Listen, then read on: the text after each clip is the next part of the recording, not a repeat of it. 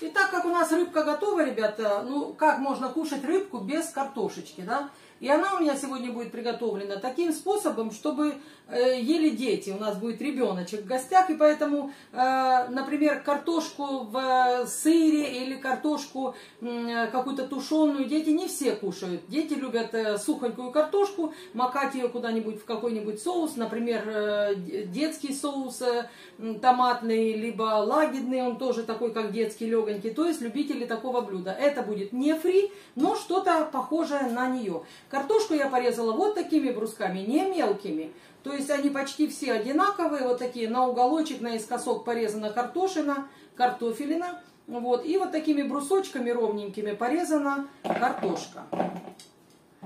Здесь ее не очень много, потому что ну, картошка должна уходить со, э, и за столом не оставаться, потому что если она останется на второй день, сами понимаете, уже, ну, в принципе, если она будет сухонькая, то, конечно же, пойдет. У меня э, мисочка такая высокая, чтобы мне всю нашу картошку залить крутым-крутым кипятком, ну, где-то на минут 5.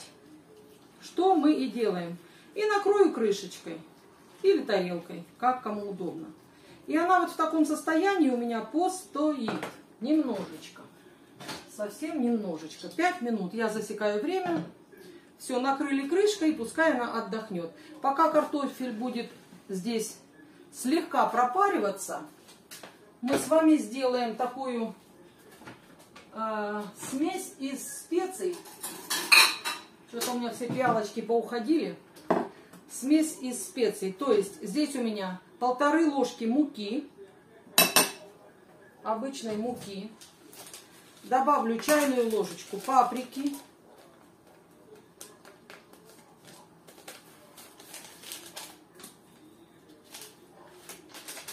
Пол чайной ложечки гранулированного чеснока сухого.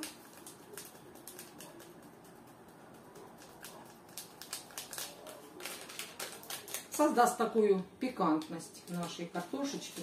Ну и, конечно же, приправа к картошку, картошке. Здесь у меня вот буквально на донышке высыпаю ее. Сюда можно добавлять любые специи на ваш вкус. Например, зелень какую-нибудь сушеную или э, томаты с базиликом, что-либо. Ну, то есть на ваш вкус. Но так как у меня ребенок, э, знаете как, не все специи, может быть, кушает. Ну, а паприка и чесночок, они будут в слабом таком, слабая нотка. Вот, сейчас пропарится наша картошечка.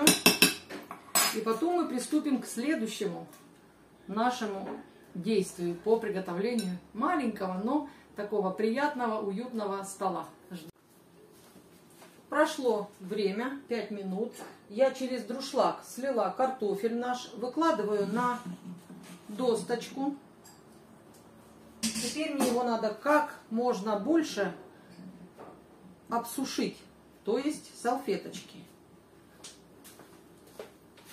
У меня кухонного полотенца нет, есть салфетки. Но это даже и лучше. Вот так вот я буду сейчас промакивать картофель.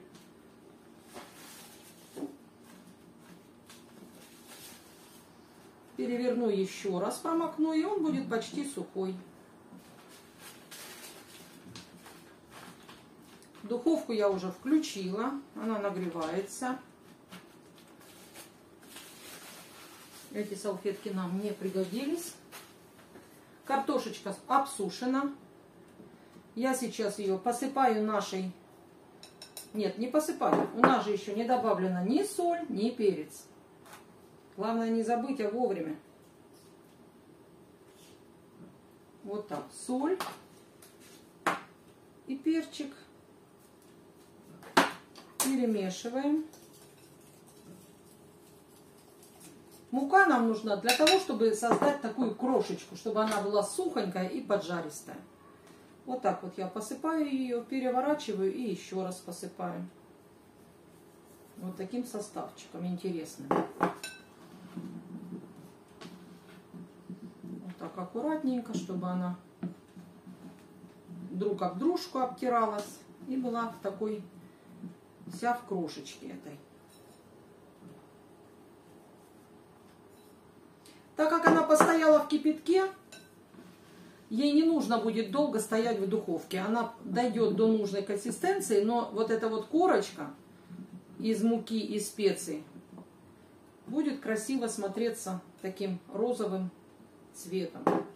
Слегка с легкой такой коричневой скорыночкой. Все. Теперь у меня заранее приготовлен противень, простеленный пергаментом. Я сейчас противень полью подсолнечным маслом. И красивенько выложу э, конусом вверх нашу картошечку острыми уголочками. И она будет вся красиво обжариваться.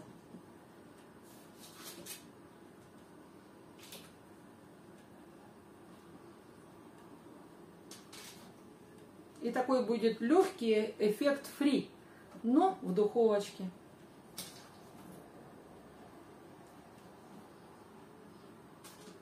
Она получится не сильно плотно уляжется, потому что картошки немного.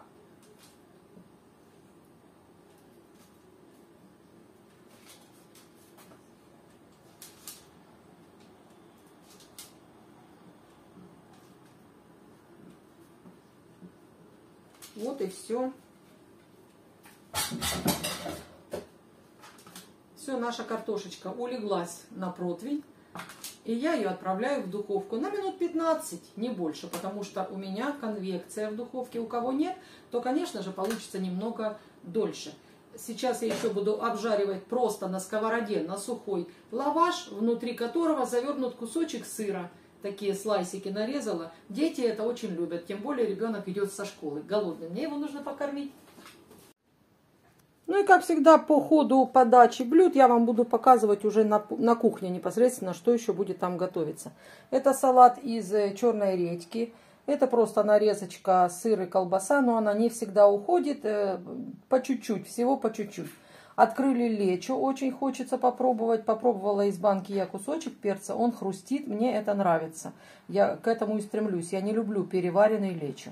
Сделала тарталетки с печенью трески. Здесь у нас входит два вареных яйца, печень трески и маленькая луковичка, порезанная очень-очень мелко и присоленная, чтобы не давала такую большую горечь. Это все та же наша рыбка.